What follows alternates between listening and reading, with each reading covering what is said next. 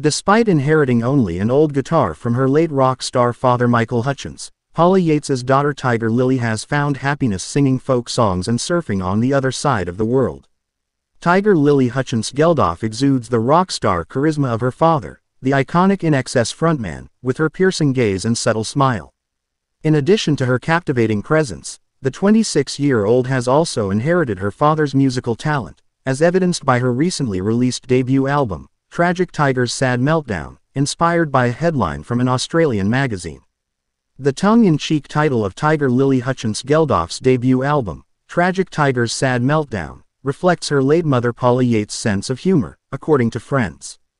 Paula's legacy as a mother, TV presenter, friend, and lover is currently in the spotlight following the two-part Channel 4 documentary, Paula, which explores how her trailblazing but brief life affected those she loved.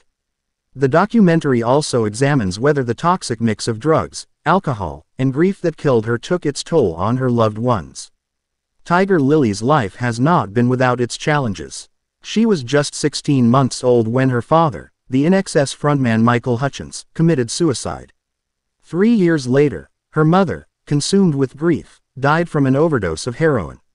However, having been raised by her mother's ex-husband and father of her three older children, Bob Geldof, Tiger Lily appears to be following a more peaceful and wholesome path.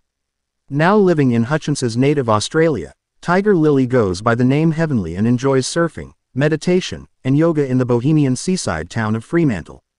Her life is a world away from the gritty London drugs scene that claimed the lives of both her mother in 2000 and her half-sister Peaches, who also died of a heroin overdose at the age of 25 in 2014.